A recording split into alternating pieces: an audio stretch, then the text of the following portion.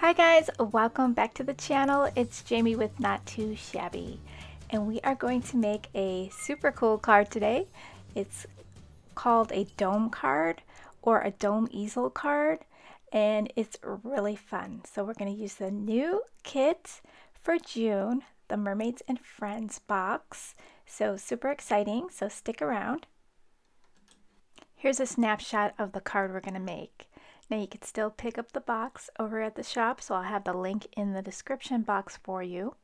And remember, if you sign up for the club by choosing monthly as your frequency, you'll get an extra 5% off, and that will save your box for next month. So you'll be guaranteed to get your box next month. So I saw this card on YouTube scrolling my feed, and I wish I could find the video that inspired me to do this, to do this card. When I do a search for dome cards, dome easel cards, um, it doesn't come up. And I don't remember if that's what she called it, but I believe it was a dome card.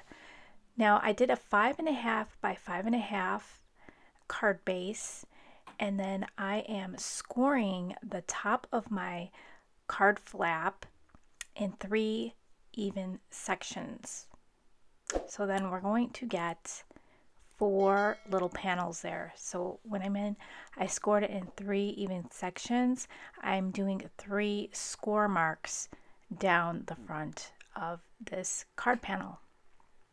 So then I make sure I cut out the appropriate shape in the appropriate size and glue that on. I'm using the 6x6 paper pad from the collection so I get to use a lot of beautiful patterns from the paper pad, which I love. And I wanted to use this beautiful underwater mermaid paper on the inside. So I need a hole so we could peek on in to the inside there. So I just took one of my dies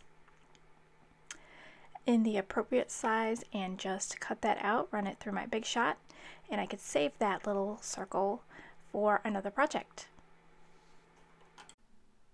Now I'm going to add this designer paper to the inside of the card. So I'm just going to use my liquid adhesive for that. Let's make this card look a little fancy by adding some acetate to the window. So I'm just going to cut out a little square that fits right over that circle, glue that down with some double-sided strong tape, and get that on there so it'll have a pretty little window and then we could decorate the outside and on the inside. After you add your acetate, your panel will be a little bit stiff, especially if you're using a nice thick acetate piece. So just kind of manipulate it so it goes into a dome. Those score lines are really going to help you round out the top of your card base there. So let's get out this ephemera pieces. Now these ephemera pieces are so cute and there's so many pieces to work with. So just pick and choose your favorites and then we could decorate the front and the inside. You're want to pick one of the pieces to be your stopper. So I'm to use this jellyfish. So you're to add some foam tape to the back of your stopper on the inside of the card. So go ahead and put that tape on there and then position it in the spot you want. And then this will be your stopper so the person can display your card.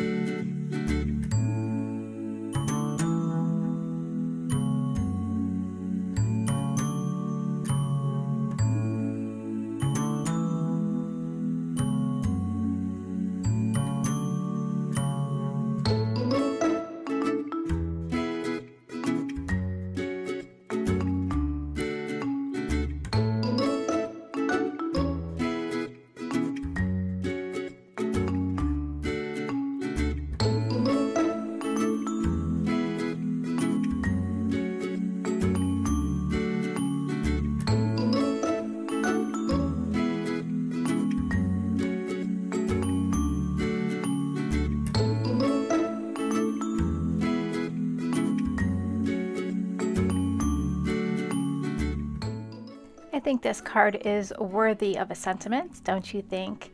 So let's use Hugs and Fishes from one of the stamp sets in the kit. I think that sentiment is really cute and you could use that for any occasion. I'm going to put some double-sided foam tape underneath my banner so it gives it a little lift and I'm only putting it on the one side before that score, score mark that way when the when you fold the card into a dome that hugs and fishes don't doesn't stop um, the top from forming the dome just a little tip on that this kit does come with a little pack of sequins, so I love using sequins on the outside of my card for decoration. So I'm going to use the, the little shell that comes in there, and then there's these really pretty blue and clear sequins.